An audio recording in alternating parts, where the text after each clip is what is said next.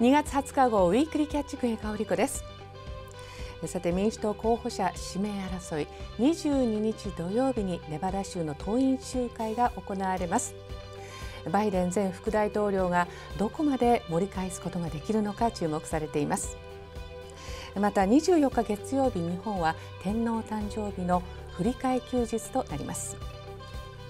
それではまずこの1週間 ABC ワールドニューストナイトが放送した主な項目を振り返ります。トランプ大統領の不倫相手だったとされるポルノ女優ストーミー・ダニエルズさんの元弁護士マイケル・アベナッティ被告がスポーツ用品大手ナイキを脅し金銭を要求した恐喝の罪で有罪評決。最大42年の実刑判決の可能性があり弁護団は控訴する方針です。アメリカ政府はイスラム原理主義組織タリバンと7日間の暴力行為の削減で合意。これが実現し信頼関係を築くことができれば和平合意の可能性もあるとされていますが双方が歩み寄れるかは未知数で今後の動きが注目されています。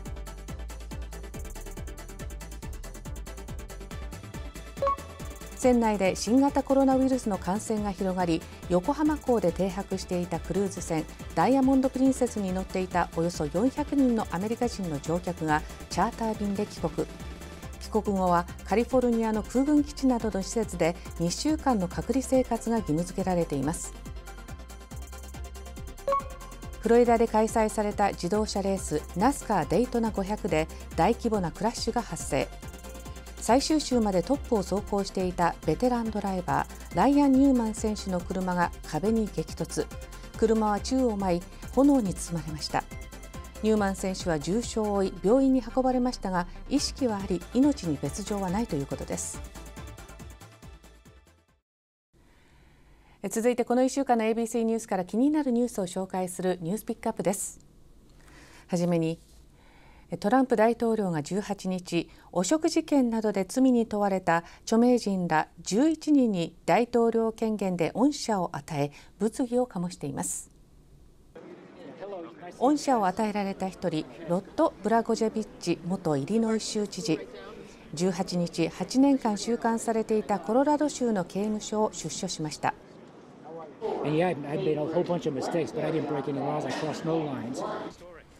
ブラゴジェビッチ氏は2008年に当選したオバマ氏の大統領就任に伴い空席となったイリノイ州上院議員の議席をめぐって賄賂を要求した罪などに問われ流出した証拠音声は当時衝撃を持って伝えられました。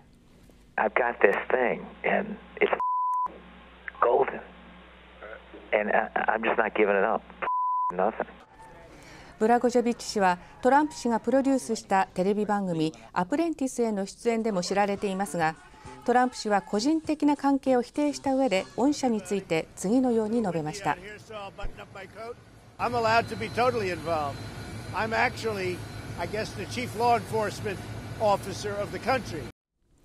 恩赦を与えられた11人にはトランプ氏の個人弁護士ジュリアーニ氏の盟友とも言われるケリク元ニューヨーク市警察本部長。金融街でかつてジャンク債の帝王と呼ばれたミルケン氏。アメリカプロフットボールサンフランシスコ 49ers の元オーナーデバルトロ氏など各界の著名人や権力者が顔を揃えているほか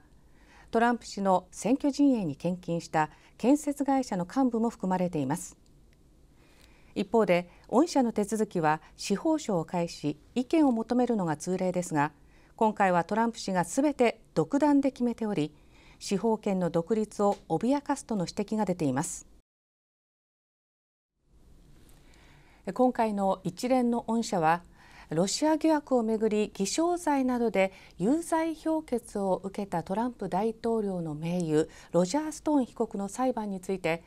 大統領がツイッターで量刑意見が厳しすぎると発言するなど大統領が司法の判断に圧力をかけて介入していると批判が高まっている最中に起きたことです。ストーン被告の裁判については過去に今日は民主両党の政権のもと司法省に勤めた2000人以上の元職員が署名した司法権の独立を懸念する書簡が公開されまた連邦判事が緊急会議を開くなどトランプ大統領の前例のない言動がアメリカの放送界を揺るがす事態となっています次です赤ちゃん専門の写真家に扮し母親から子供を誘拐しようとした30代の女がワシントン州で逮捕されました。逮捕されたのは去年コロラド州で市長選に立候補していたジュリエット・パーカー容疑者と16歳の娘です。パーカー容疑者は自分は写真家で写真集を作りたいので無料で赤ちゃんの撮影を行うとフェイスブック上で呼びかけ先週これに応じたワシントン州の女性から赤ちゃんを誘拐しようとしたということです。捜査当局によりますと女性は生まれて間もない娘の写真を撮ってもらうため3度にわたってパーカー容疑者を自宅に招き入れました。しかし3度目の撮影日容疑者の娘が差し入れに持ってきたカップケーキを食べたところ突然吐き気やめまいなど体調の異変を感じたということです。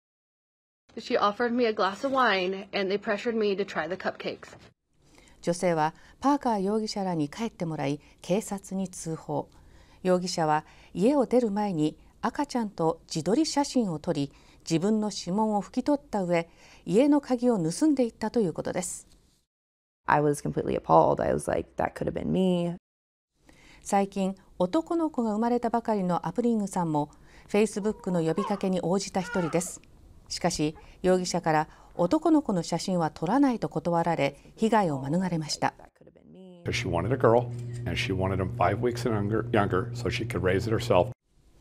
捜査当局は他にパーカー容疑者と連絡を取ったという10人以上から詳しく事情を聞くことにしています容疑者はジュリエット・パーカージュリエット・ノエルジュリエット・ゲインズなどの偽名も使っていたということで捜査当局は心当たりのある人に警察に連絡するよう呼びかけています生まれたばかりの赤ちゃんがいる家庭を狙ったこの犯罪極めて悪質です。市長選に立候補していたと言われるとつい信用してしまいそうになりますがソーシャルメディアでの出会いは細心の注意が必要だということを改めて気づかせてくれる事件です。以上ニュースピックアップでした。それでは映像トピックです。一番帰りを喜んだのは？328日ぶりに国際宇宙ステーションから帰還。女性では最長の宇宙連続滞在を成し遂げたクリスティーナ・コックさん。1年近く留守にしたコックさんの戻りを待ちかねていたのは愛犬の LBD 猛烈な喜びでコックさんを迎えたこの映像がネットで話題になりました。